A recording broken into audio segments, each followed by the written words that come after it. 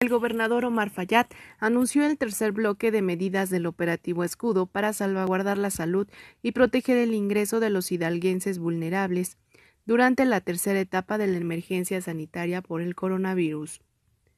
Para seguir fortaleciendo el sistema de salud pública que ha brindado más de 40.000 atenciones en esta contingencia, se instalarán tres nuevos hospitales COVID-19 en Actopan, Huejutla y Huehuetla, además del funcionamiento de uno de los tomógrafos más modernos del país en el Hospital de Respuesta Inmediata COVID-19 de Pachuca. Se activa la tercera fase de las medidas sanitarias en el transporte público. Se verificará que los transportistas de pasajeros que ingresen a Hidalgo hayan cumplido con los controles sanitarios a riesgo de ser sancionados y se distribuirán 3.000 tarjetas de Tusobús gratuitas para disminuir la utilización de efectivo. El mandatario hidalguense encabezó una alianza con farmacias del ahorro y prestadores de servicios médicos privados para identificar casos sospechosos de COVID-19 utilizando el 911. Las 44 tiendas de autoservicio Chedraui, Soriana y Walmart, en sus diversos formatos,